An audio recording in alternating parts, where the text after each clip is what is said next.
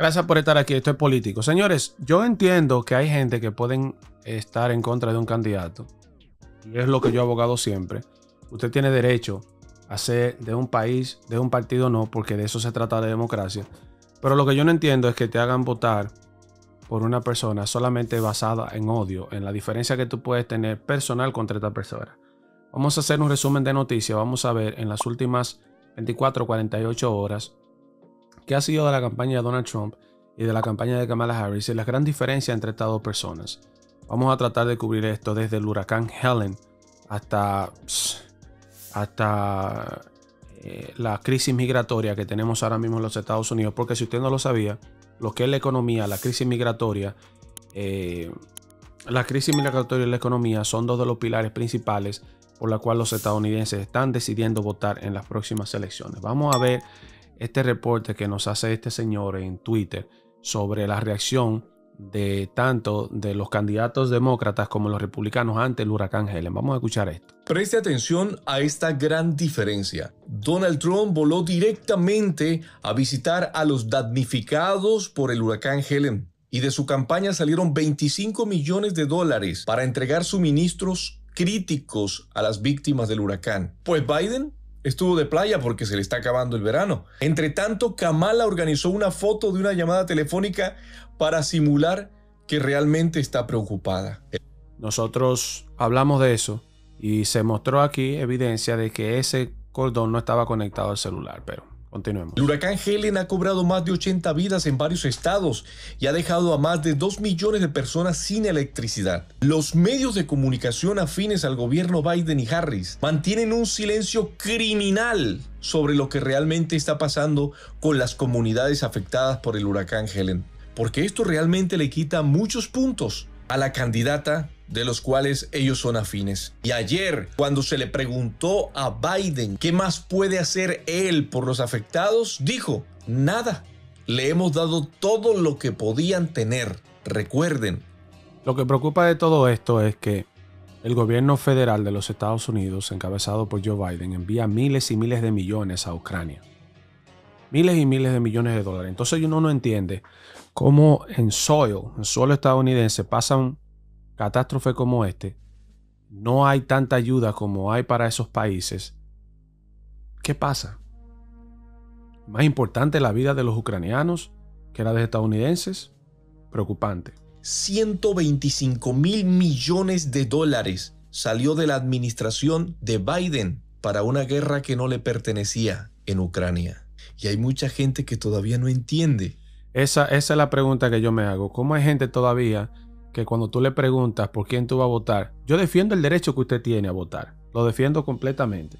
Pero como hay gente al sol de hoy, a este momento, que tú le preguntas por quién tú vas a votar y te dice que va a votar por Kamala Harris porque Trump es racist. ¿Qué tiene eso que ver?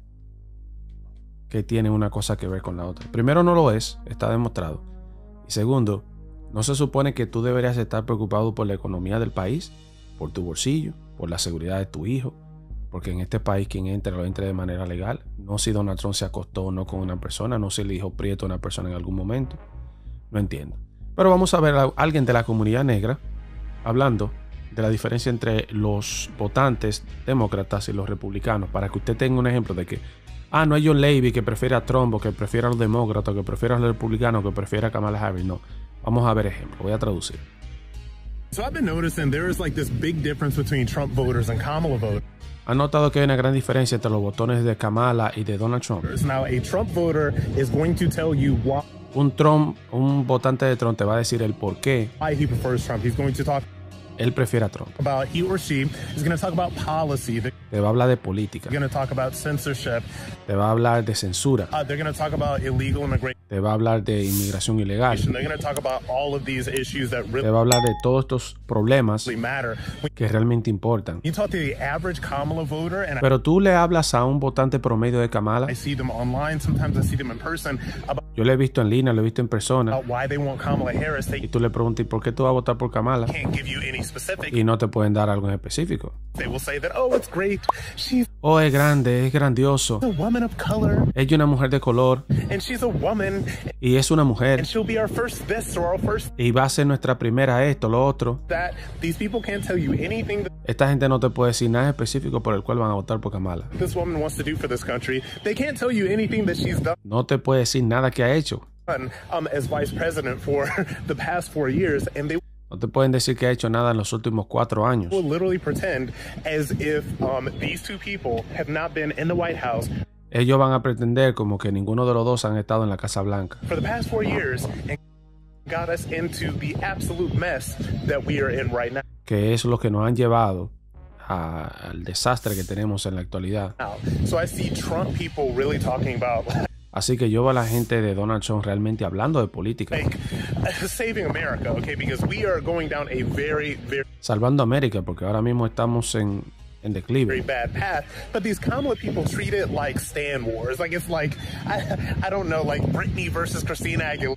Esta gente lo trata como si fuera como si fuera algo vago, como si fuera una conversación entre dos artistas, Britney y Cristina Aguilera, Or with with some new generation like Ariana Grande versus Sabrina Carpenter, como Ariana Grande versus Selena Carper. right? So they're going purely on aesthetics, purely on vibes. Oh, Ellos solamente van emocionados. Ah, Kamala Harris es buena, una buena persona, la primera presidenta negra. so brat, and she's so this, and she's so that. And it's very interesting that there has literally been the Y es interesante of the mainstream media structure que los medios tradicionales están callados con esto. that has been thrown behind Kamala Harris to the tune of probably billions of dollars. Han invertido millones de dólares en tratar de crear una imagen positiva, alegre, que es la mejor de Kamala Harris. And she still sucks. Y aún así, ella sucks, ella apesta. Miren, señores, esa es la realidad.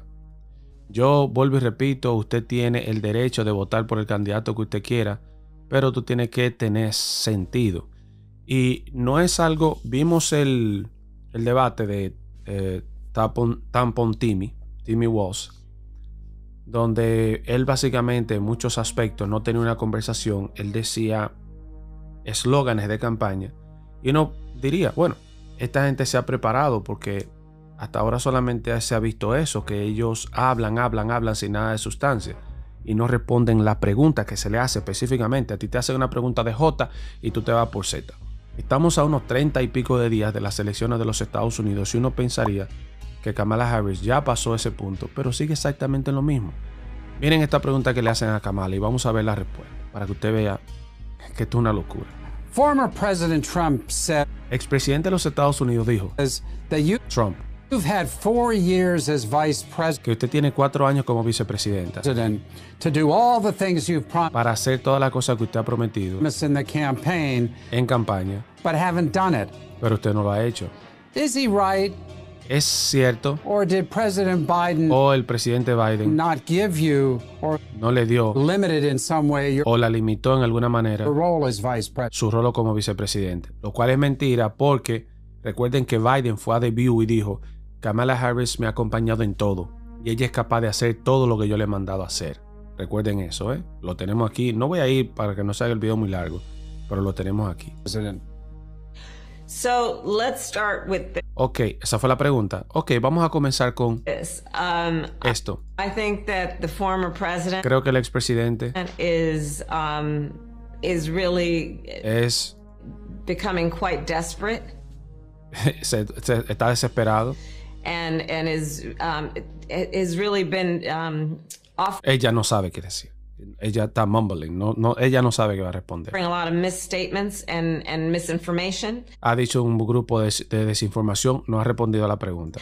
And perhaps it's because he wants to distract from the fact that he has offered no plan for the American people. Eh, y es porque él quiere distraer, que él no ha ofrecido plan para los norteamericanos. Todo lo contrario, que no ha ofrecido nada, absolutamente nada para los estadounidenses.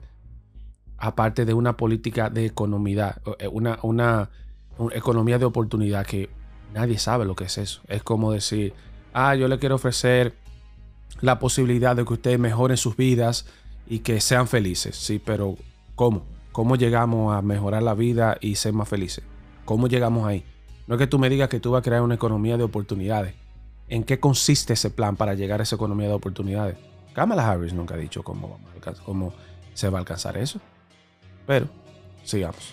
Uh, you can, I have talked about this before. I invite you to Yo hablé de esto antes. go to his rallies, Quiero que usted vaya a sus rallies, que están llenos. and what you'll hear about full time is Y lo que tú vas a ver todo el tiempo, him talking about himself él hablando de él, todo lo contrario. Si vemos los rallies, el último que vi de Donald Trump, que fue aquí, uno en Pennsylvania y otro aquí en Long Island, Donald Trump básicamente lo que está haciendo ahora mismo es poniendo las palabras de Kamala Harris, ella contradiciéndose. En eso ha consistido la campaña de Kamala, de Donald Trump, en esta parte final. Incluso cuando yo aquí hay un video en el canal, si usted no tiene el canal, suscríbase.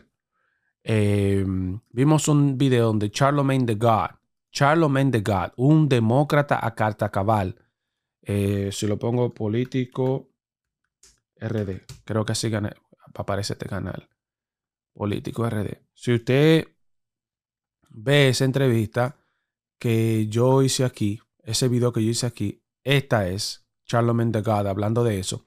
Si usted va a ese video, se podrá dar cuenta que incluso los demócratas, como Charlemagne the God, se están dando cuenta de que las políticas de ella no tienen sentido. and his personal grievances, but what you won't hear him talking about is you and the needs that you Pero de lo que tú no vas a escuchar a él hablando es de ti y de las necesidades que tú tienes. have as a working person, as a family person. As a working person, as a family person. No voy a seguir porque es bastante largo el video, pero básicamente, básicamente él no responde esto. Pero la realidad es que Donald Trump te habla de esto en sus, en sus discursos. Esos son inmigrantes de mi país, dominicanos, venezolanos, peruanos. Eso es en el, en el, en el en. Son excursiones. Eso es cruzando el trecho de Marién para venir a los Estados Unidos. Son filas y filas y filas interminables. John Levy, ¿tú estás en contra de la inmigración? No, yo estoy a favor de la inmigración. Pero estoy a favor de la inmigración legal. No sabemos de los que están ahí quiénes son asesinos. No lo sabemos. Y aunque se quiera poner de que todos los inmigrantes son buenos, no, muchos vinimos, inmigramos de nuestro país porque no tenemos la mejor vida. Pero vamos a ver ya este trabajo, este anuncio que se hizo de que cerca de 13 millones, eh, cerca de que los 25 millones de inmigrantes que entraron a los Estados Unidos en esta administración de 20 a 25 han cometido muchos de estos delitos que vamos a ver ahora. Arrested in Oklahoma. Police say he raped and murdered Rachel Morin, a mother of five. I know what a crime looks like. Yo sé. Dice Kamala Harris, yo sé lo que el crimen, eh, cómo luce, yo sé cómo luce el crimen y un, un- un indocumentado no es un, no es un delincuente. immigrant is not a criminal. Two Venezuelan migrants are under arrest in Houston, Dos inmigrantes venezolanos son arrestados en Houston charged with murdering 12 por haber quitado la vida a una joven de dos, a una niña de 12 años. I know what a crime looks like, Yo sé cómo el crimen luce and I will tell you y yo le diré, an undocumented un indocumentado inmigrante immigrant is not a criminal. no es un criminal. Days ago, another undocumented immigrant from Otro indocumentado inmigrante Ecuador was arrested in New York City, de Ecuador fue arrestado en, los, en New York accused of raping a acusado de abusar 13 year old girl de una niña de 13 in años broad An daylight. eh, a, a- a plena luz. undocumented immigrant is not a criminal, and we have to correct course on this conversation in our country. An undocumented immigrant Un indocumentado from El Salvador del Salvador was arrested in fue arrestado en Oklahoma. Oklahoma. Police say he raped and Él abusó de esta mujer murdered Rachel Morin, a mother y le quitó la vida una madre de cinco niños from Maryland. de Maryland. Undocumented immigrant is not a criminal, and we have to correct course in this conversation. An undocumented immigrant is Está repitiendo lo mismo, lo mismo que un documentado ilegal no es un delincuente. not a criminal, and we have to correct course on this conversation in our country. Un indocumentado ilegal, cuando cruza por la frontera de los Estados Unidos, es un, es, es un criminal. Por el simple hecho de usted cruzar la frontera entre los Estados Unidos y México, eso es un delito. Es un crimen. Usted no debería hacerlo. No debería hacerlo. Yo estoy a favor de la, de la inmigración, pero estoy a favor de la inmigración legal. Venga legal a este país. Venga a ser este país grande. Pero todos esos inmigrantes muchos de ellos criminales con delitos en su país que cruzan por la frontera. Señores, es que lo vamos a volver a repetir. No es posible que usted quiera venir a un país a buscar una mejor vida y usted lo haga mal. Pase su proceso migratorio, páselo, páselo.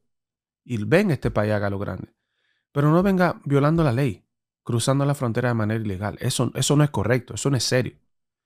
Pero déjeme saber qué usted opina de las políticas, tanto demócratas y republicanos, en comentarios. Hola, mi nombre es John Levy, analista político y comunicador. Muchísimas gracias por llegar al final de este contenido. Recuerda suscribirte, comentar y compartir y sobre todo activar la campanita de notificaciones para que te llegue cada vez que subimos un video. Leemos todos los comentarios y sobre todo recuerda ampliar estas y otras informaciones en mi página web johnlevy.com, johnlevy.com, las noticias como son. Buenos días, buenas tardes, buenas noches, donde quiera que esté. Un abrazo grande y hasta pronto.